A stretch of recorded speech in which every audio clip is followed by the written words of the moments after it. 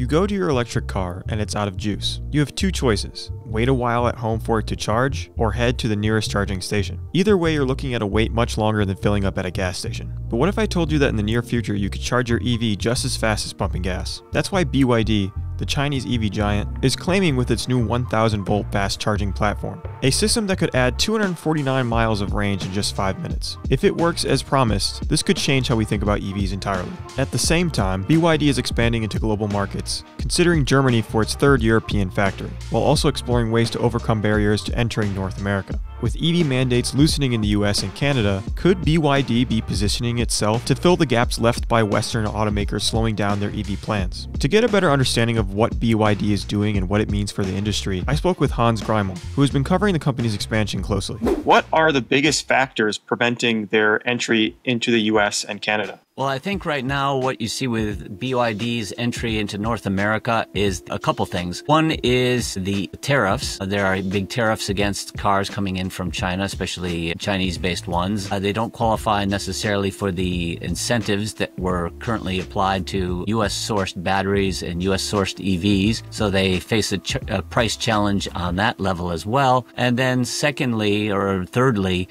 there's a perception problem with Chinese vehicles that there's a the American consumer is not really accustomed to Chinese vehicles, doesn't quite trust the, the brands, doesn't know the brands, doesn't trust the quality, and that's a factor as well. Now, that said, I think BYD still does have their, their long-term objective is to eventually crack the U.S. market, North America, and they were considering at one point starting with a uh, plant in Mexico to build a pickup truck. We've seen BYD expand in Europe as well, now considering a factory in Germany. Does that also fit into their uh, long term strategy? Right. Uh, BYD is kind of on a global uh, expansion binge right now. It's really branching out all over the place, including some markets that might be surprising, including uh, South Korea and Japan. Especially Japan, it's very difficult for foreign brands to gain a foothold here and to expand, but uh, BYD is confident in its product and is trying to uh, sell the cars here. So that is that explains a little bit about their ambition. In Europe, they have already have two plants in Europe, I believe, one in Eastern Europe and one in Hungary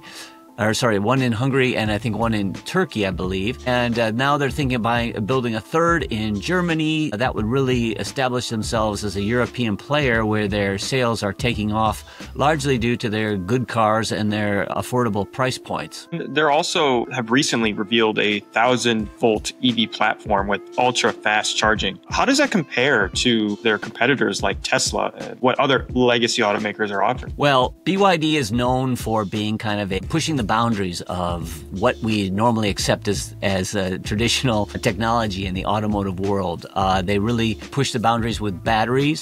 They push the boundaries with price. They push the boundaries with production engineering. All these things are kind of new approaches that think outside the box and have caused a lot of headaches for global manufacturers and their competitors worldwide.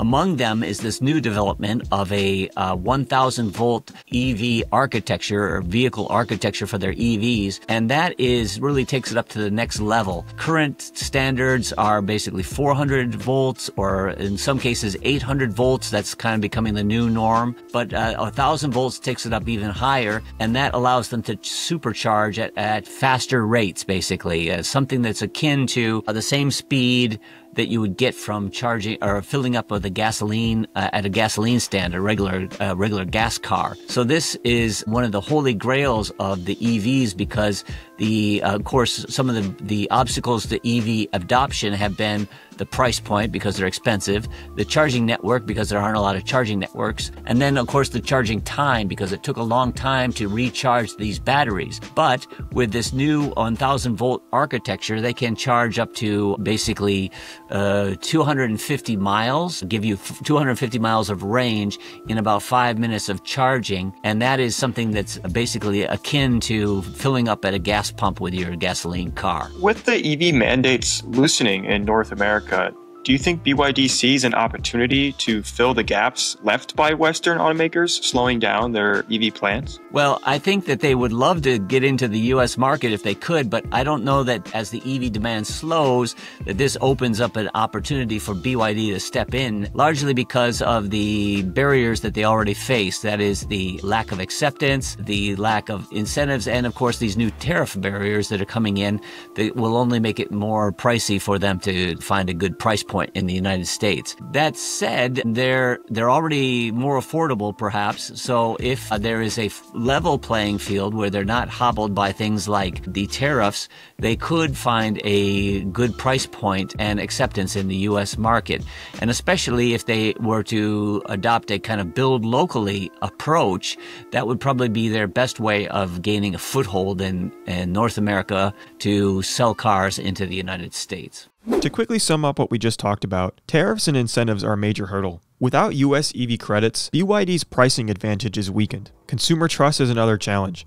BYD may dominate China, but Western buyers aren't as familiar with the brand. BYD's global expansion is moving fast. They're pushing into Japan, South Korea, and now considering Germany for another factory. Their new 1000 volt fast charging platform is a potential game changer. It could solve one of the biggest barriers to EV adoption. Even with EV mandates easing in North America, BYD still faces roadblocks. Entering the US or Canada will likely require a local factory. While BYD is expanding, whether they can break into North America market remains an open question. Going back a few months, Ford CEO Jim Farley made an interesting revelation, stating that he had been driving a Xiaomi SU7, a Chinese electric sedan, for six months after importing it from Shanghai, saying it was fantastic and that he didn't want to give it up. Farley shared this on the Everything Electric Show podcast, admitting that Chinese automakers are a real threat to legacy brands like Ford. He pointed out that they're moving faster, producing high quality EVs at lower costs, and could reshape the industry just like Japanese automakers did decades ago. The electric part of the China market compared to the US or Western Europe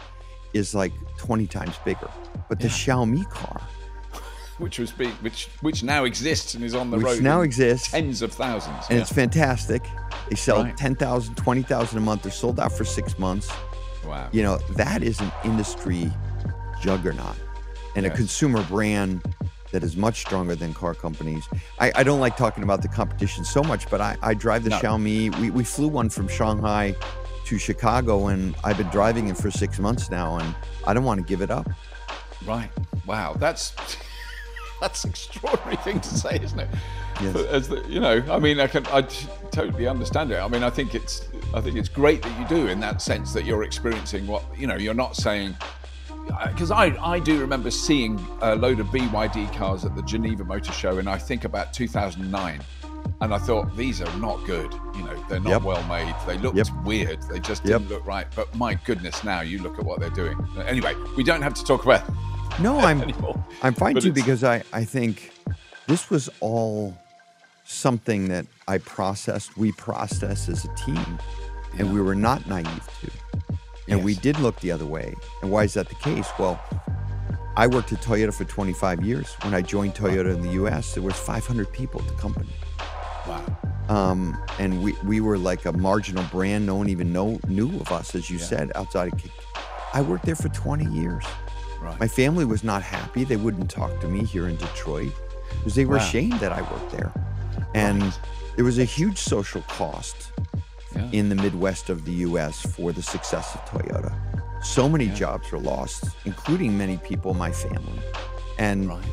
you know, I I can't unlearn that as a young man. I can't unlearn the you know, the fact that the Detroit 3 really never had a plan.